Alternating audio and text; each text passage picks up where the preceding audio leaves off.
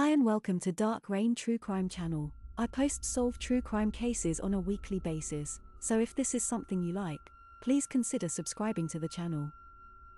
Today's case is about Daniel LaPlante, a strange and creepy man, an all round weirdo. He would gain notoriety in 1987 for being the Massachusetts hide and seek champion. Daniel LaPlante was born in Townsend, Massachusetts, on May 16, 1970 he suffered a very abusive childhood at the hands of his violent father.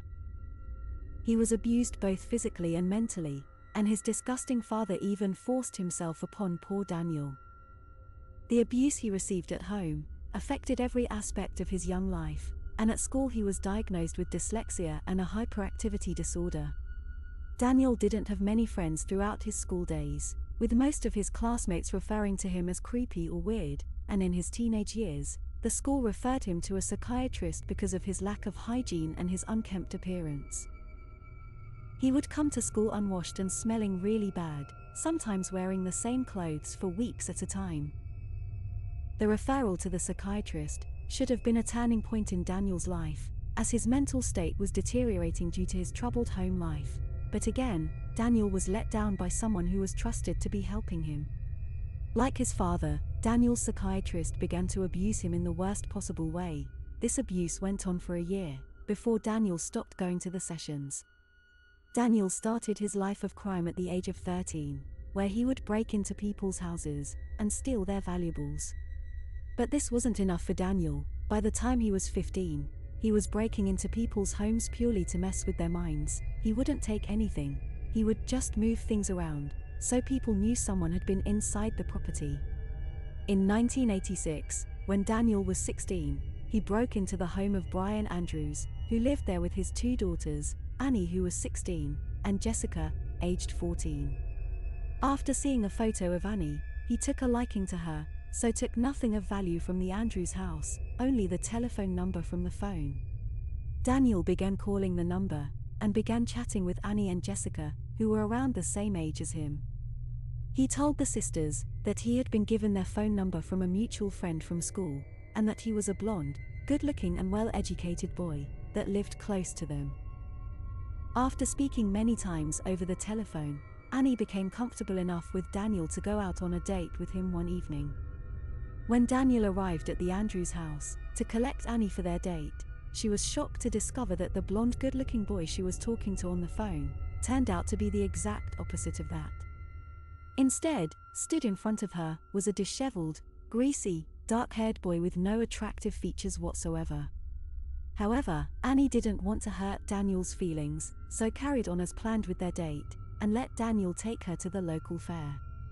During the date, Daniel asked Annie lots of personal questions, and she revealed to him that her mother had recently passed away and she was in the care of her father as a single parent. He seemed to be more interested in how her mother died, and how much she suffered, than finding out anything about Annie's interests. Annie found Daniel and his questioning very creepy, so after an hour, she made her excuses and returned home. The pair wouldn't go on another date, and it would be months before she would unexpectedly see him again. Annie and Jessica were obviously devastated at the death of their mother, due to cancer, and as typical teenagers, they one night attempted to contact their mother by performing a seance in their basement. The seance failed to summon any messages from their dead mother, however, when the pair went to bed, they heard rhythmic knocking on their walls as they tried to sleep. The girls thought their seance was successful, and they had summoned the spirit of their mother. They spent the night, speaking with the unseen spirit, as if they were talking to their mother one last time. The girls asked the supernatural force questions, to which it responded with knocks against the wall. This carried on for a few evenings, until it became so frequent that it started disturbing the girls' sleep, and over time, items from the home started to disappear, other items would be moved from one place to another, and furniture would be moved around the room. Jessica and Annie decided that it wasn't the spirit of their dead mother, they were in fact being haunted by a demon. The girls told their father Brian, but he believed it was the girls who were still grieving their mother, and were imagining the whole thing. However, the noises continued, and one night in January 1987, the girls heard more banging, this time, they thought it was coming from downstairs in the basement. The girls decided to investigate, and armed with a knife, they headed down into the basement towards the source of the noise. As they got into the basement, they were greeted with a message on the wall written in blood, saying, I'm in your room, come and find me. Annie and Jessica fled the house to a nearby neighbor's and waited for their father to return before going back into the house. Brian, again thought it was his daughters that had wrote on the wall and made them undergo counseling to help them to come to terms with losing their mother. Several weeks later, the same thing happened, however, this time it was in Annie's bedroom. Again, a message was written on the wall, saying, I'm back, find me if you can. Again, the girls fled the house to a neighbor's, who telephoned Brian to come home. This time, however, Brian noticed there was further disarray in the house, plus an additional message written on Annie's bedroom wall, which said, Marry me. As he searched the room, he opened up one of the built in wardrobes and was greeted by the sight of a young man, dressed up in his dead wife's clothes. The young man was Daniel LaPlante. He was wearing her dress, a blonde wig, and had full makeup on. He was also holding a hatchet, or an axe if you're from the UK. There was a brief struggle, and Daniel was able to escape. Brian was shocked at how Daniel was able to escape from view so easily, and immediately called police. Police arrived at the house, and quickly discovered the writings on the walls were done with ketchup, not blood as the girls first thought, and officers searched the house for any sign of the intruder. After an intense search, one officer found a hidden crawl space behind a cupboard in Annie's bedroom. When the investigator opened the door to the crawl space, he found Daniel curled up inside, still wearing the wig and dress. Daniel was quickly arrested, and officers removed the wig from his head, although out of kindness, they let him keep the dress on. Then police searched the Andrews property thoroughly. To the Andrews' horror, they realized Daniel had been living inside the walls of their home for months. He had tunneled between the walls to different parts of the house, and he had made peepholes in several rooms, so he could spy on Annie whichever room she was in. God knows what Daniel was planning, dressed up in their dead mother's clothing and wielding an axe. The girls looked like they had a lucky escape. Daniel was placed in a youth institution for the home invasion, but he wouldn't even spend a year inside, and in October 1987, he was released on bail, back into society.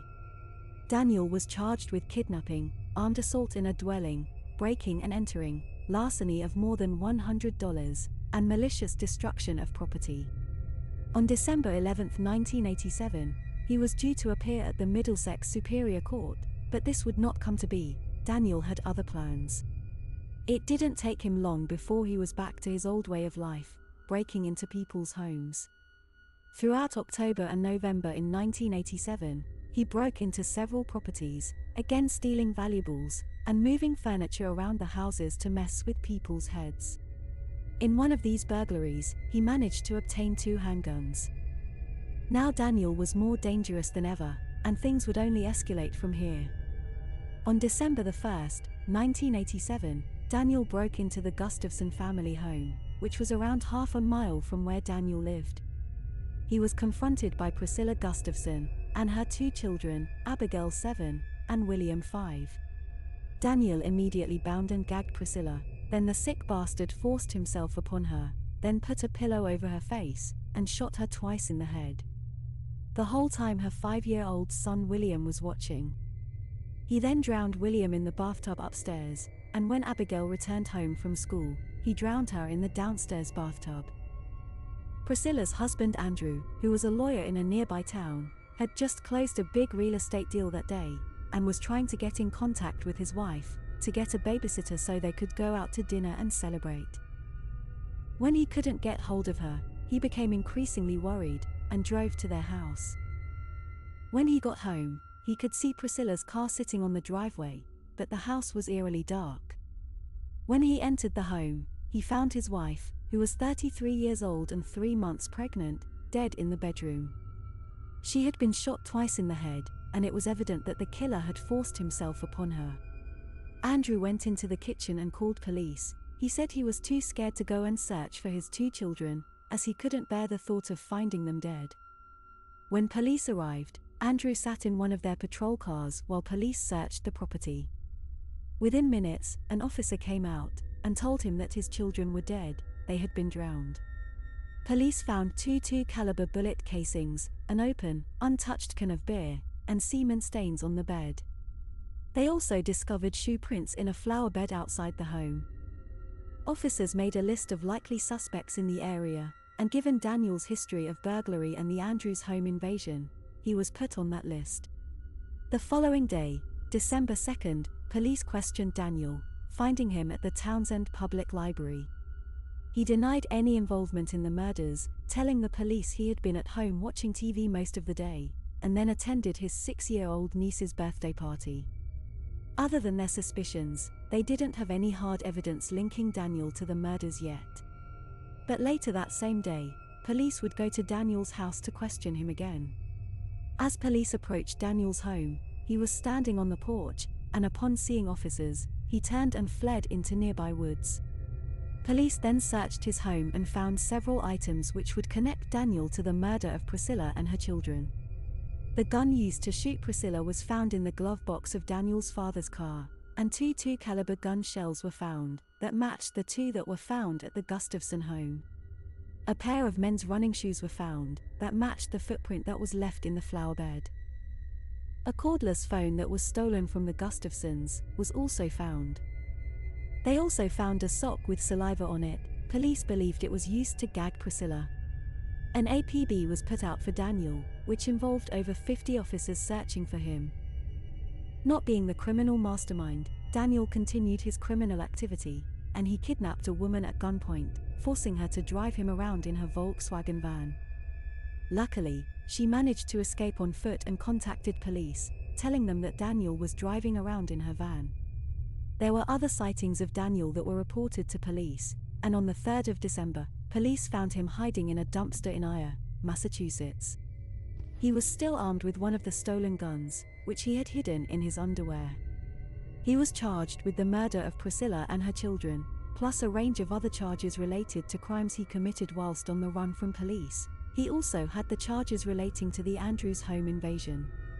The trial began in October 1988, and after a psychiatric evaluation, Daniel was deemed fit to stand trial, and although he was a minor at the time of the offense, the judge ruled he would be tried as an adult. Daniel pleaded not guilty, but the evidence against him was overwhelming, and after deliberating for five hours, the jury found him guilty of the murders, and the judge sentenced him to three life sentences without parole. In 2013, Massachusetts Supreme Court ruled anyone who committed murder, that was under the age of 18 years, could not be sentenced to life without parole, as it was unconstitutional. Yeah, killing women and children is unconstitutional as well, but Daniel didn't give two fucks about the law then did he? Daniel was resentenced to three life sentences, with the possibility of parole after 45 year, and although I think he should be kept in for life, respect to the judge for giving him such a long sentence. Even after 45 years, I can't see them letting the child killing scum loose. He is currently incarcerated at MCI Norfolk Prison in Norfolk, Massachusetts. 30 years ago, a pregnant mother and her two young children were brutally murdered. Now, because of a recent Supreme Court ruling, their killer is hoping for a shot at parole. Our Bob Ward has been following this case very closely. He joins us live tonight. And Bob, that killer made his case for release today. He did, and he issued an apology, but for the families of the victims in this case, it was a hollow apology. The family members are urging the judge to keep this sentence exactly the way it is right now so that this guy stays right where he is, in prison. I, I do not have the words to fully express my profound sorrow, but I am truly sorry for the harm that I've caused.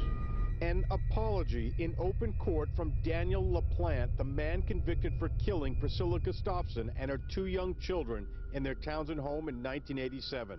LaPlante is asking a judge to restructure his three consecutive life no parole sentences, a move that would make him eligible for parole, eligible for early release this year. From the very essence of who I am, the depth of my soul, I am sorry. Daniel LaPlante was 17 at the time of these murders. Recent high court rulings citing the development of juvenile brains outlawed life no parole for teen killers like LaPlante and paved the way for this hearing. But a forensic psychiatrist testified the development of LaPlante's teenage brain had nothing to do with these brutal murders. This, he said, was the work of a cold-blooded killer. As he said to me, he wanted his needs to be met and did carry out what he intended to do, is to kill an entire family, and he went about it in a very systematic fashion. The victims' families urging the judge to ignore LaPlante's plea for a reduced sentence. Do not believe that he is rehabilitated and worthy of parole. He is a menace and a threat to society.